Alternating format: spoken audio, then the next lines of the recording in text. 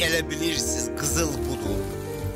Mən sizə əsl qızılı göstərərəm.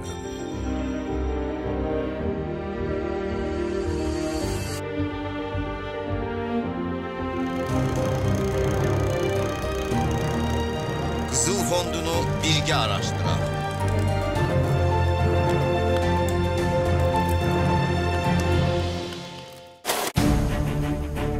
Şerşe Ləhfam. O qadını tapın.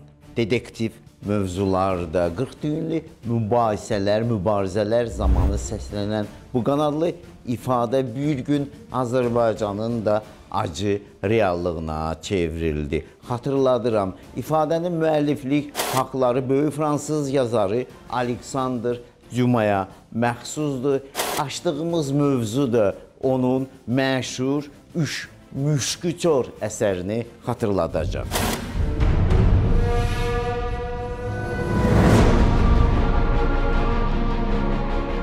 Yelizaveta Smıslova Azərbaycan əks-kəşfiyyatı tərəfindən ölkəmizdə həbs edilmiş ilk cəsusdur. Hollywood filmlərinə layiq bu detektiv sujet hələ uzaq 1919-cu ilin 29 mart tarixində Gəncədə cərəyan edib. O vaxt Novruz bayramı ərəfəsində Gəncədəki hotellərə həmişəki kimi Rusiyadan xeyli qonaq gəlir. Penza şəhər sakini, sarışın fotomodel Yelizaveta İvanovna Smıslova belələrindən yalnız biri idi.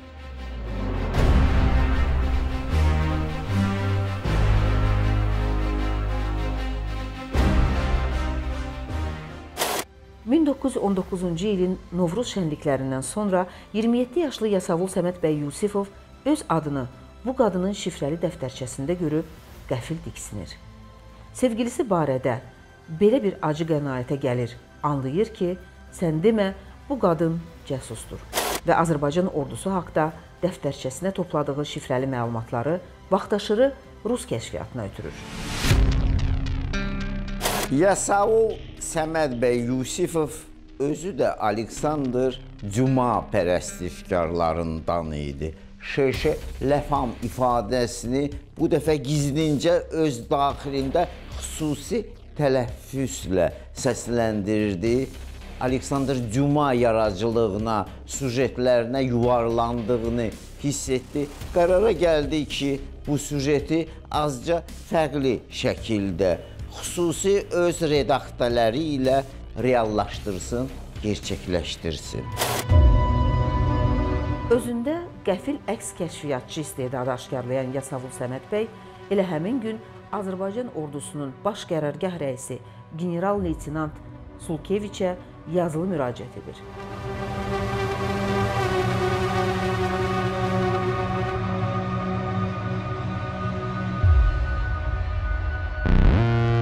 tezliklə cavab alır.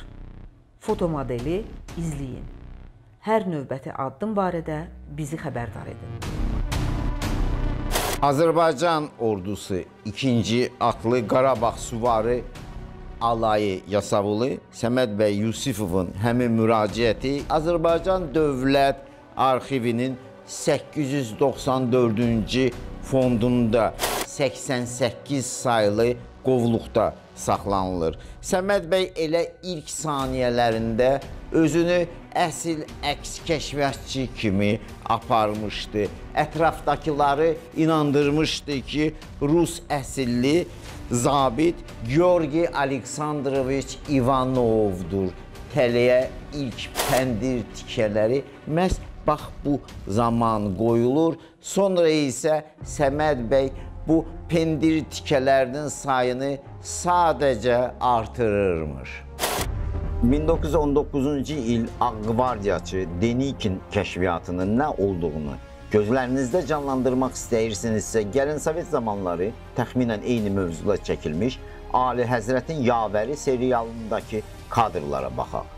Azərbaycan əks kəşfiyyatı uzaq 1919-cu ildə məhz bu peşəkar öz işinin ustası olan Ağqvardiyaçılarla toqquşmuşdu. Rəqib çoxillik təcrübəyə malikdir. Geniş casus şəbəkəsi qurmaqda, rabitəni təmin etməkdə, gizli şifrələr işlətməkdə sözsüz çox irəlidə idi. Ancaq Azərbaycan əks kəşfiyyatı bu maneələri, əngəlləri anında aşmağı bacardı. Ali Həzrətin Yabəri filmindəki bu zat aliləri görünür, bizləri lazımınca dəyərləndirməmişdilər.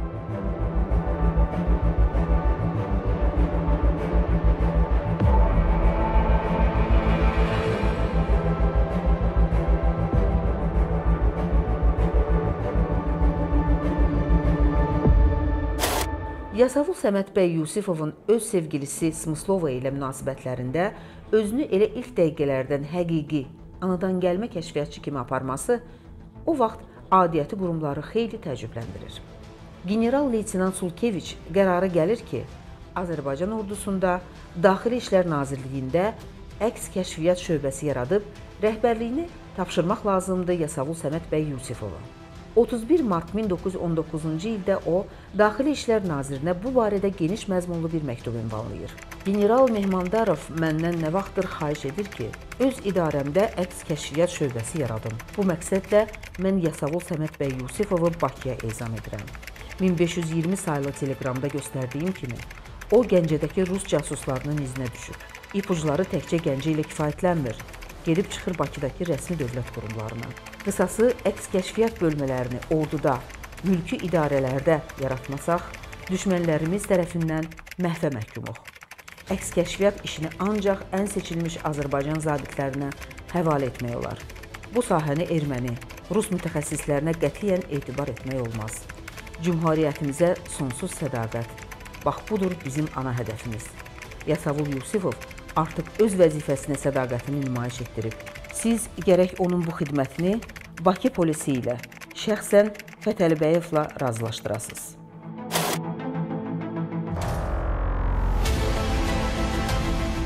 Yasavul Səməd bəy Yusifov qəfil dönür həm əks kəşfiyyatçı, həm də teatr aktyoruna. Aleksandr Cuma qəhrəmanlarının birinə Dartanyana bənzədir özünü ətir, pul, romantika, fransız ətirləri. Bax bu atributlar da baş verən hadisələrin xüsusi ovqatını yaradır. Əsl əks kəşfiyyatçı istedadını Səməd bəy Yusifov bax bu əməliyyat zamanı itiləyir. Azərbaycan əks kəşfiyyatının ilk sətirlərini qızıl hərflərlə tarixə həkk edir. Dindirmə zamanı Yasavul Yusifov öz sevgilisini şoka salır. Rus zabiti İvanovun saxta maskasını öz sifətindən çıxarır. Həqiqi adını dilinə gətirir. Bu psixoloji zərbə Smıslovanı əməlli başlı sarsıdır. Smıslova Ağ qvardiyaçı general Denikin kadrlarından idi. Bildiklərini Ağ qvardiyaçıların qərargahına ötürür, birbaşa oradan təlimatlanırdı. Azərbaycanda rus kəşfiyyatının qurduğu şəbəkəyə çoxlarını cəlb etməyi bacarmış bu qadın növbə Yasavul Səməd bəy Yusifbəyova gəlincə möhkəm büdrəyir. 28 mart tarixində Smıslova iki məktub yazıb onları poçt qutusuna atmağı Yasavul Yusifovdan xahiş edir. Məktubdakı Çernişev, Zubir adlarını yaddaşında saxlayan cənab Yusifov tək bununla kifayətlənmir. Smıslovanı məcbur edir ki, öz hədəflərini, istəklərini ayrıca kağızda aydın xətlə qələmə alsın. Smıslova isə öz növbəsində Yusifovdan xahiş edir ki, topladığı məlumatları nazik vərəq üzərinə köçürüb güllə gilizində qoruyub saxlasın. Azərbaycan ordusunun sayı, mövqeləri, qışlaları, silahları barədə məlumatları yığsın.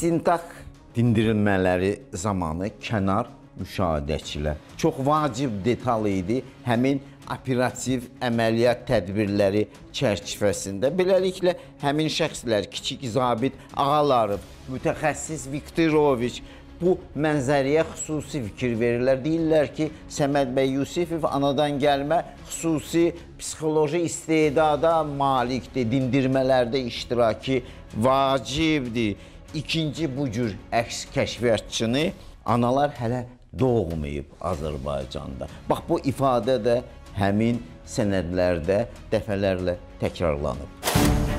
Araşdırmaların bütün sənədlərini bir qalın qovluğa yığan general Mehmandarov Daxili İşlər Nazirinə aşağıdakı teleqramı göndərir. Könüllü Rus ordusuna, general Denikinə, habelə ermənilərə işləyən casus Yelizaveta Smıslova Gəncədə ələ keçib. Onun ilk növbədə Gəncədə inşa etdiyimiz cəbbəxana, silah-sursat anbarları barədə məxfi məlumatlar maraqlandırıb. Gəncə qarnizonunda şəbəkənin bir başqa üzvləri də aşkarlanaraq həbsə atılıb. İşlə əlaqədar Bakıda növbəti həbslərin keçirilməyi vacibdir. Siyahını şifrəli mətnlə məktubuma əlavə edirəm. Açar şəxs sabiq çar kapitanı Aleksandr Çernişevdir. İpucu Gəncədən başlasa da son nöqtəsini məhz Bakıda tapır. 2 aprel 1919-cu ildə Azərbaycan əks kəşfiyyatı özünün ilk məxfi əməliyyatına start verir. Əks kəşfiyyatçılarımız Çernişevlərin Bakıdakı mənzilinə daxil olaraq axtarış, əməliyyat tədbirlərinə başlayırlar. İlk uğur da bu zaman qazanılır. Bir seyf məxfi sənəd Azərbaycan əks kəşfiyyatçılarının görünür təkcə çiyinləri yox, göyləri də ulduzlarla zəngin imiş. Məxfi sənədlər kapitan Aleksandr Çernişevin digər gizli seyfindən 19 yaşlı qızının al paltarları içərisindən aşkarlanır. Xüsusi qeyd edirik. Axtarışın bu epizodunda əks kəşfiyyatçılarımız alicənablıq sərgiləyərək axtarışı xanım əməkdaşlara həvalə ediblər. Alt paltarların gizlətdiyi sənədlər Xəzərin Otayı, Manqışlaq yarımadasındakı radio qovşağı ilə əlaqədar idi. İndiki Aktau şəhəri ərazisində o vaxtlar çox güclü radio qovşağı vardı. Ağqvardiyaçılar məhz bu ünvandan Moskvadan tutmuş Tehrana qədər böyük bir ərazini öz nəzarətlərində saxlayır, bölgədəki real vəziyyət barədə məlumatlar əldə edirdilər. Sonra bu məlumatlar Bakıdakı Britaniya nümayəndələrinə satılırdı. Talış Muğan bölgəsindəki Rus Malakan kəndləri, habelə Gürcüstan hökuməti ilə Bakı arasındakı məxfi əlaqələr də sən demə Rus kəşfiyyatının tam nəzarəti altındaymış. Əməliyyat zamanı Azərbaycan əks kəşfiyyatçıları xüsusi istedadlarını dəfələrlə nümayiş etdirərək hamını təəccübləndirirlər. Sənədlər ayrıca dəstxət ekspertizasından keçirilir. Siz təsəvvür eləyin ki, Azərbaycan əks kəşfiyyatının ilk cinayət işində bu cür qəliz, bəli, ekspertizalar da keçirilib, nəticələr uğurlu olub. Əməliyyatçılar kiçik detalları belə nəzərdən qaçırmayıblar. Məhz bu xırdalıqlardan start götürərək böyük cinayətlərin izinə düşüblər, yuvasına gəlib çıxıblar. Bayaq dediyimiz o pəndir, təliyə qoyulmuş pəndir axırda öz işini görür. Tələ birdən-birə bəksəs salaraq qapanır. Cəsus şəbəkəsi tam şəkildə Azərbaycan əşkəşfiyyatçılarının caynağına düşür.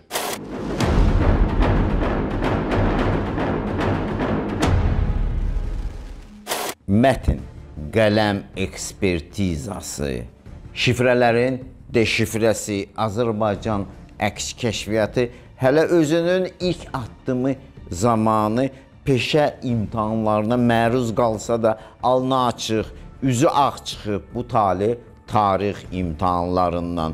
Bəlli olub ki, kapitan Çirnişev təkcə Ağqvardiyaçı Denikinə yox, həm də Britaniya aslanına qulluq edirmiş. İki ağanın sadiq qulu imiş. Rus kəşfiyyatı Bakıdakı xəbərçiləri ilə 12 pilləli qonorar sistemi əsasında iş görürdü. Birinci dərəcəli xəbərə 5 manat pul verilirdi. Ən vacib sənədlər ayrıca dəyərləndirilirdi. Məsələn, Musavat nazirləri arasındakı dedikodulara bir dəfə 1000 manat pul verilmişdi. Nə idi bu informasiya? Allah bilir. Ancaq biz bilmirik.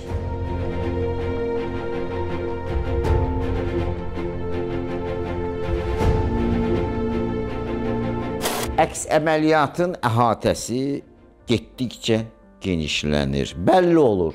Bakıdakı Britaniya missiyasının baş qərargahında Metropol otelində Ağqvardiyaçı Lazarevlə görüşdən sonra Smıslova həm ingilislərə, həm dini ikinçilərə işləməyə razılıq verirmiş. Ancaq qəti olaraq ağlına belə gətirməyib ki, bu məlumatlar həm də ermənilərə ötürülə bilər. Sapı özümüzdən olanlar mövzusu sən demə o vaxtda ən yaralı yerimiz imiş. Araşdırma zamanı bizimkilər erməni cəsusların izinə də düşürlər. Bəlli olur ki, Bakı polisinin siyasi şöbəsində erməni fransız əsilli Okayev adlı bir şəxs də mövcuddur. O öz mənşəyini saxtalaşdırıb. Bizimkiləri inandırıb özünün asetin olduğuna. Əslinə qalsa, o erməni, rus, ingilis casusudur. Bakıdakı siyasi xadimlər, partiyalar barədə məlumatlar yığır, ordunun Qarabağdakı marşrutlarını izləyir. Casuslara ödənilən qonorar cədvəlində ilk pillədə agent Aquyevdir. Ayda 1000 manat. Bakçıyans, Arlov, İgiminov, Salagov, Çesnyakov kimilərinin qonorarı isə 260 rubl ilə 1000 rubl arasında qalxıb enirmiş. Okayeva şərait yaradan Bakı qubernatoru Rəşid bəy Axundovu dindirən Azərbaycan əks kəşfiyyatçıları sonradan uzun müddət başlarını təəssüf hissi ilə sağa-sola yelləyirlər. Məlumatlarında qeyd edirlər ki, bəzi məmurların siyasi savadı, səriştəsi lazım səviyyədə deyil. Həbslər nəticəsində Azərbaycandakı rus casus şəbəkəsi ucdan tutma həbsə məruz qalır. Məhbusların siyahısını indi sizin diqqətinizə çatdırıram. Semyon Remennikov, Yevgeniya Kalinina, Sergey Klashevskiy, Yosif Luskiy, Aleksey Kasimov, Aleksandr Akoyev, Vladimir Iordanov, Aleksandr Chernyshev, Vladimir Chesnyakov, Nikolay Жульков, Иосиф Чеховский, Nikolay Akapyans, Anton Bulankin və s. və ilaxır.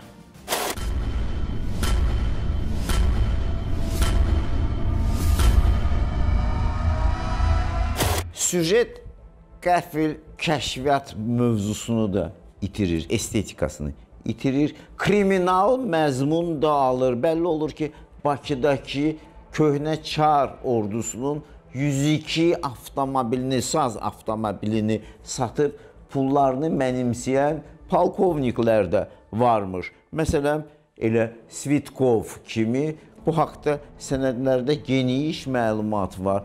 Bəzi zavallıların adı da çəkilir bu sənədlərdə. Zabit Kistikovun talihi məni çox düşündürdü. Hiss etdim ki, o günahsızdır. Sadəcə öz dövrünün zavallı qurbanıdır. İfadələrində o öz bəxtsizliyindən çox danışıb.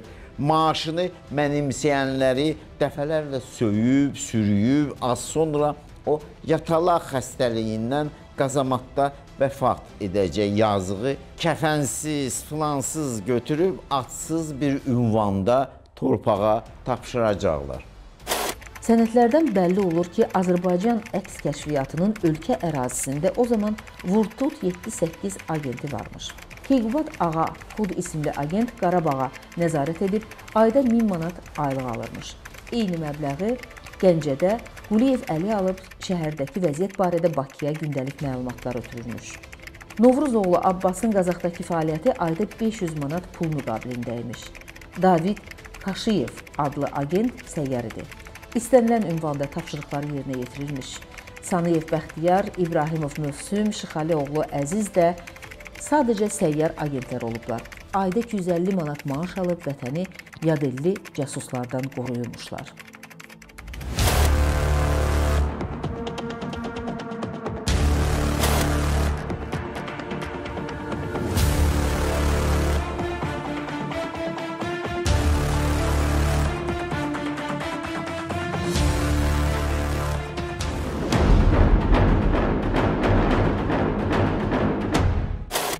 9 noyabr 1919-cu ildə General Dinikin Ağqvardiya ordularının baş komandanı nəhayət mövzuya müdaxilə edir. Xüsusi bir məktub yazaraq qeyd edir ki, Azərbaycandakı bütün köhnə çar zabitləri ölkəni tərk etməlidirlər.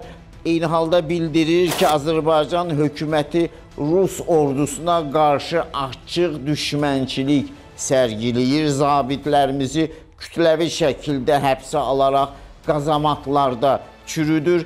Azərbaycan ha belə xaincəsinə Ermənistan ərazisinə ordu yeridib.